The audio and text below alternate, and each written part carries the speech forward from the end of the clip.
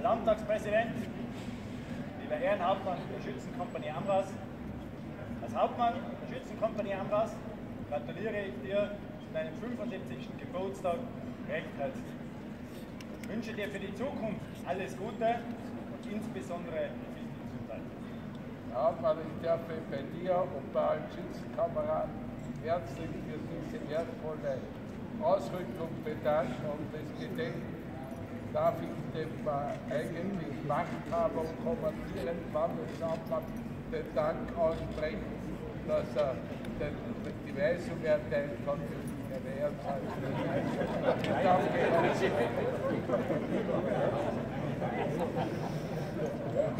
Muss sein. Bitte, Ehrenseife abfallen zu dürfen. Bitte. Ehrenseife abfallen. Ich danke herzlich. Bitte nicht darum, sondern ich danke allen.